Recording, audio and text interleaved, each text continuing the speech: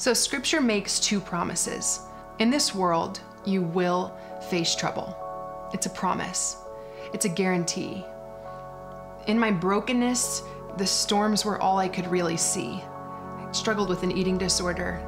Suicide was a part of my story, horrific car accident. But what's amazing is that God follows that first promise take heart, have courage. I have overcome the world.